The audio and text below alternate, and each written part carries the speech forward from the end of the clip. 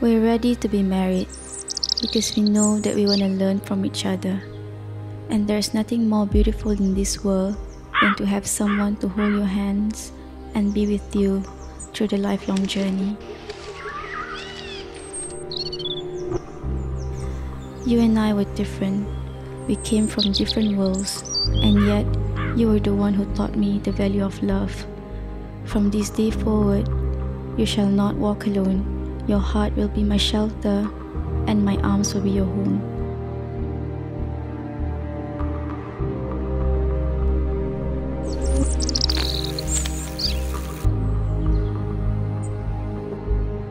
I love you for all that you are, all that you have been, and all that you are yet to be.